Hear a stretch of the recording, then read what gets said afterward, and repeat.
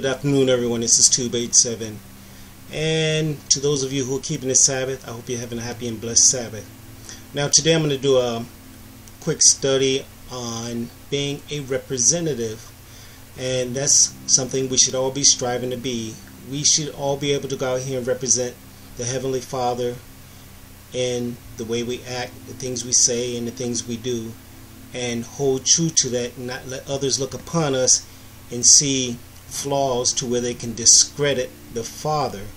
That's what it's all about. If we're out here representing Him, we have to represent Him to the fullest because others look for flaws and then they try and expose you or your character based on those flaws. And this turns people away from the Father and it causes people to not believe because they look and they see themselves in what you do and then they look at the other side and say that's just a facade. So with that being said, we're going to talk about that for a couple minutes and I'm going to show you how one of the most famous patriarchs of history misrepresented the father and what it cost him.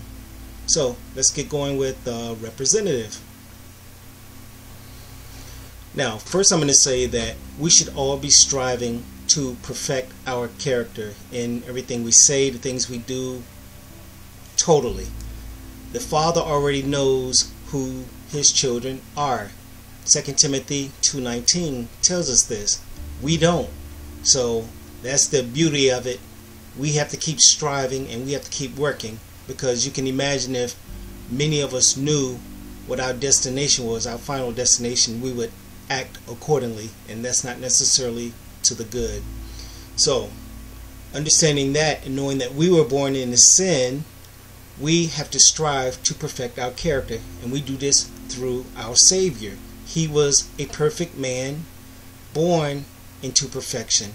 He there's never been any sin about him. So he is our gateway. He is our way to perfect our characters. We have to die to sin and go through him to overcome all these temptations and things that get in the way. Now, speaking of temptations, we must go through trials and temptations, burdens, what have you. We are going to go through things. This is how our faith is proven. We have to be refined because of the sin in us. We're born into it. We have to be refined to prove ourselves worthy to the Father. Now, He can deliver us from any temptation. 2 Peter 2 9 tells us that He won't put anything on us that we cannot handle he will deliver us from all temptation. Let me read it. The Lord knoweth how to deliver the godly out of temptations, and to reserve the unjust until the day of judgment to be punished. That he does. There's no argument there. Let's look at um, 1 Corinthians 10:13. It reads, it says, There have no temptation taken you but such as is common to man, but God is faithful who will not suffer you to be tempted above that ye are able, but will with the temptation also make a way of escape.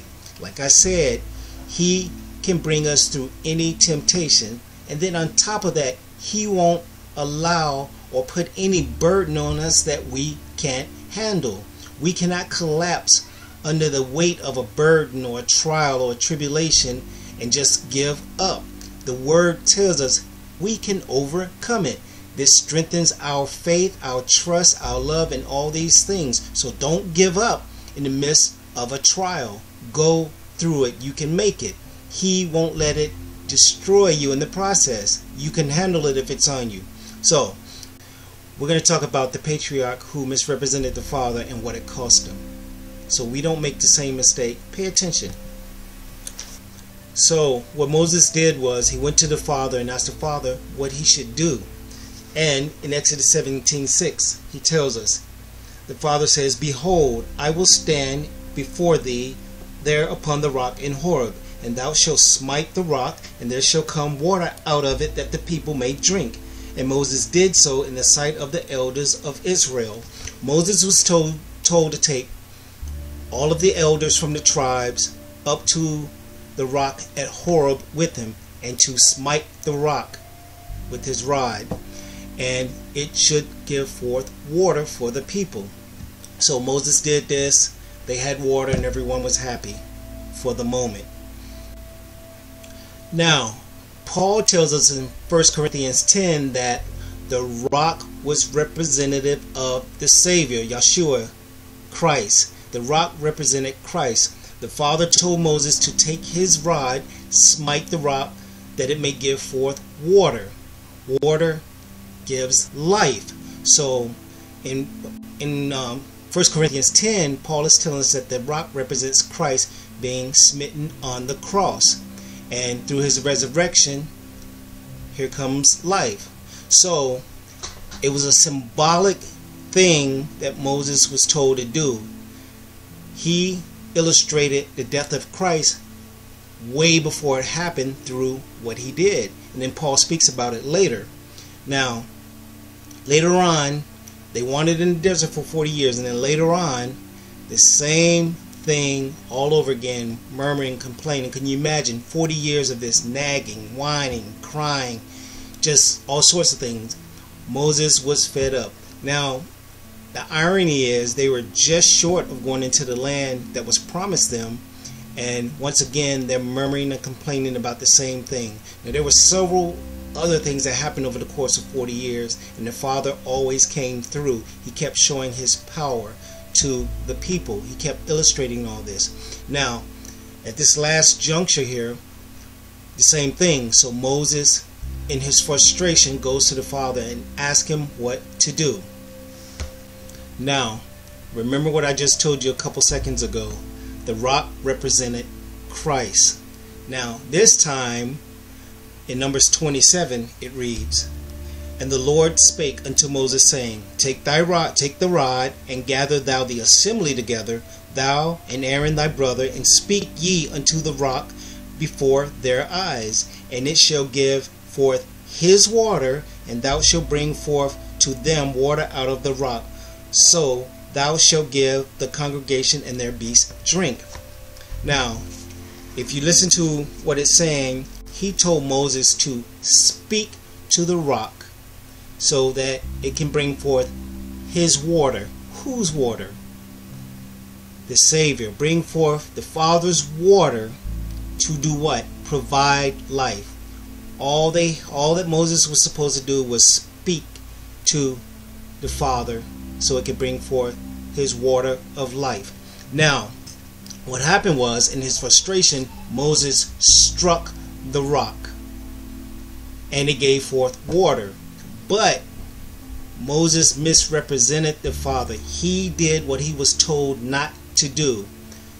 This is the same thing today. People are short minded and quickly forget what has been done for them. And five minutes later, they're murmuring and complaining about the same things over and over. They're never satisfied, they're never appreciative of things. And this is illustrated through the 40 years and as we see at the end of the 40 years, the same thing all over again. But Moses misrepresented the Father. He did what he was told not to do. Now, in Leviticus 10:3, it tells us what the Father told him. 10:3 it reads, it says, Then Moses said unto Aaron, This is it that the Lord spake, saying, I will be sanctified in them that come nigh me, and before all the people I will be glorified. And Aaron held his peace because Moses didn't do what the Father wanted him to, he was denied the opportunity to go into the promised land. It's the same thing that we do. If we allow our, say, children to get their way because they throw a temper tantrum and you never teach them the lesson of respect and honor and all these things, they will always be that way and possibly get worse.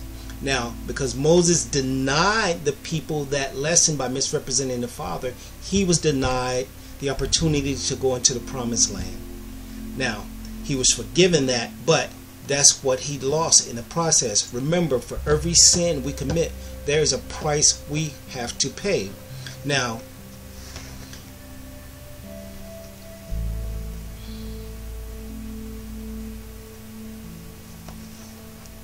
now always keep in mind that we don't want to be denied our opportunity to go into the promised land because for us that's heaven And if we misrepresent the Father in everything we say, do, how we act, we can turn people away from the Father. We can discourage people.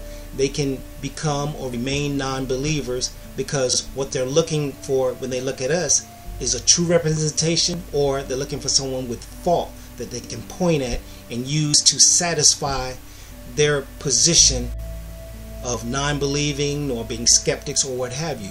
So always do what is right when it comes to representing the Father so that you may glorify Him, edify others, and it's good for all people. Moses denied the people that he didn't glorify the Father by doing what he asked him. So therefore the people couldn't exalt him and and understand even more his power. He didn't edify the people because what he did did not uplift them if anything, it taught them they could be angry and get their way. And it wasn't good for any of them. So keep that in mind. And with that being said, remember the Heavenly Father doesn't call on us to be successful, He calls on us to be faithful. This is Tube87.